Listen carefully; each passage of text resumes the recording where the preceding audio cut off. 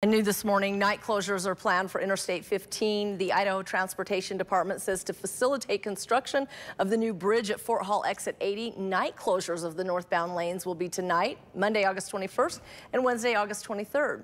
Girders will be erected from 9.30 p.m. to 7 a.m. Northbound traffic will be diverted over the old overpass.